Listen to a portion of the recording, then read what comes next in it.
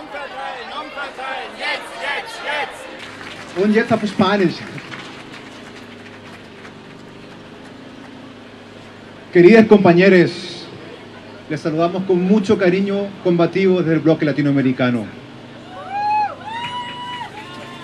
¿Qué es lo brutalmente violento de la inflación que aumenta los precios, pero no nuestros salarios ni ayudas estatales? ¿Qué es lo brutalmente violento del capitalismo que siempre será un sistema que atenta contra la vida? Es el sistema de muerte que concentra la riqueza y el poder en manos de pocos. Manos privilegiadas y escasas, pero no invisibles aunque se intentan esconder. Manos explotadoras que nos hablan el lenguaje técnico acerca de racionalidad y de gestos productivos inesperados que amenazan con hacer colapsar la economía.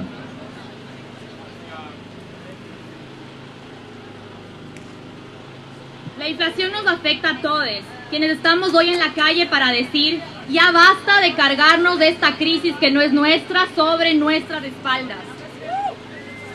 Mientras las grandes empresas nacionales y transnacionales acumulan sin pudor las ganancias más altas de los últimos años, aquellas que vivimos de nuestro trabajo y de nuestro sueldo, nos enfrentamos a decisiones cada vez más duras. No nos queda otra que seguir explotando nuestros cuerpos, nuestras cabezas y nuestros corazones aún más en una rueda infinita que a veces parece no tener luz. Les migrantes somos violentades por el Estado alemán con estatus precarios migratorios de residencia y también somos ilegalizados sin siquiera a veces tener acceso a ayudas estatales.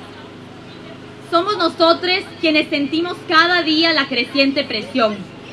La presión de este mercado inhumano, donde quienes tienen que reducir gastos lo hacen exactamente en esos sectores, en los sectores de la gastronomía, de la limpieza y de los cuidados, que en realidad son aquellos que sostienen la vida y que el capital oprime.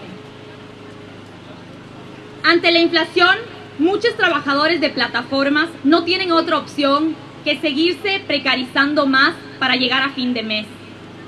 Por ejemplo, aumentando la dependencia personal de clientes a través de situaciones de informalidad que son aún peores que en el mundo de las plataformas y que les inhiben de tener derechos laborales. Todo este círculo vicioso y esta espiral hacia abajo la estamos viviendo en la cuarta potencia económica mundial. La indolencia de las manos opulentas e imperialistas ya no nos sorprende. ¿Cómo se atreven a hablarnos de cuidar la economía en términos abstractos mientras la vida se sigue haciendo añicos de nuestras manos? A pesar de que la violencia de la inflación nos afecta de forma más profunda a los migrantes, si como bloque latinoamericano hoy participamos en esta jornada de lucha, es porque estamos convencidos que estas diferencias no deben ser un obstáculo en el proceso de organización popular. Vamos a luchar por nuestros derechos y utopías a toda costa, creando comunidad y peleando codo a codo con todos quienes aquí se sientan en casa, vengan de donde vengan.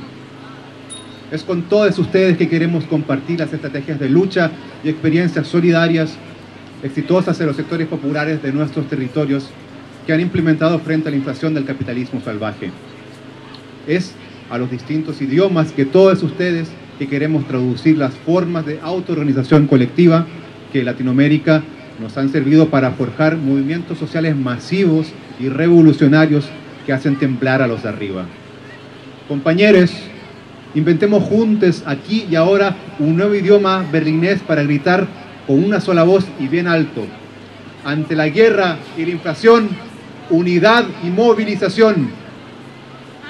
Guerra, inflación, movilidad y movilización. Ante la guerra y la inflación, unidad y movilización.